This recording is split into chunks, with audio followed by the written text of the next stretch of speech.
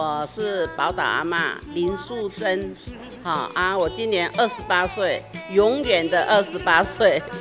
我做了几十年的这个厨艺了哈，我就把最好吃的带来给贵州的朋友大家品尝嘛。一七年开的，我把小孩子跟他带过来，本来预备要回去的，结果没回去，就在这里留下来说帮他带孩子。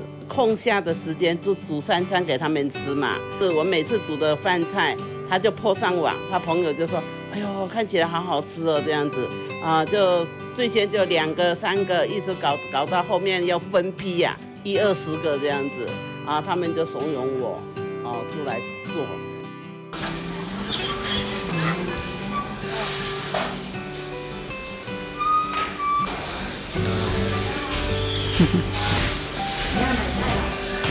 买菜，我每天差不多八点多起来，都骑摩托车到菜场。他们，我每次看我牵摩托车，他们就是很好奇那个眼眼神啊。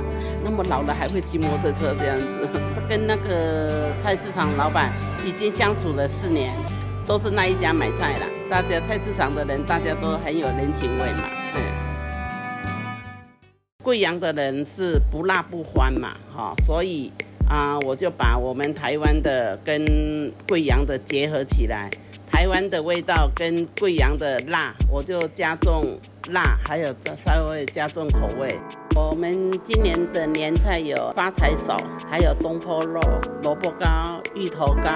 啊，像那个萝卜糕的话，就是萝卜，我们台湾说菜头嘛，哈，菜头菜头，意思就是好彩头。今年又特别为贵阳朋友做了芋头糕。就是比较糯的，啊，接受度真的也是蛮高的啦。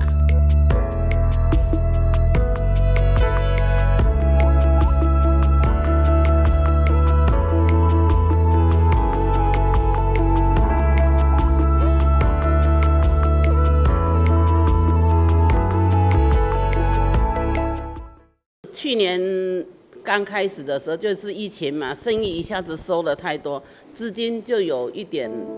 好像周转比较困难这样子，现在大家都没有出来吃饭那些嘛，比较少了。现在我们做线上，就是我媳妇妈妈，今天我又卖了几十个芋头糕出去，我又卖了多少那个萝卜糕出去啊？她接单，我要负责出来呀。刚开始是一天做一次，哦，我感觉很轻松。再来的话，她。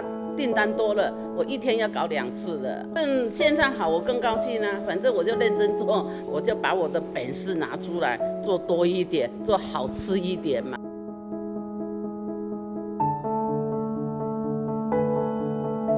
是医护人员嘛，大部分来的话就特别优惠就对了。他们辛苦了嘛，他们要回家的时候，我们就给他诶补贴那个车费这样子。还有来我们这里转的话，基本上就是买一送一那个感觉就对了啦。去年那个疫情的关系，对不对？像我们油炸街那个社区医院，哈，他们护理人员在那里，我们就送一些吃的啦，去跟他们安慰一下、慰劳一下，这样子打个气，这样子嘛。大家都辛苦嘛，对不对？来，你的碗。我刚开始诶来的时候，去到金阳啊。满一片的黄土。二零年的时候，差不多十十月份带小孩子去玩了，全部高楼啊，看不到一片黄土了。这我就感觉大陆好啊，幸福啊，有孙有儿子有媳妇啊，媳妇又特别好，没有感觉说在台湾在大陆的那个感觉了。这里也是家，其实我们都是一家人，两岸一家亲的嘛，哪里都过年。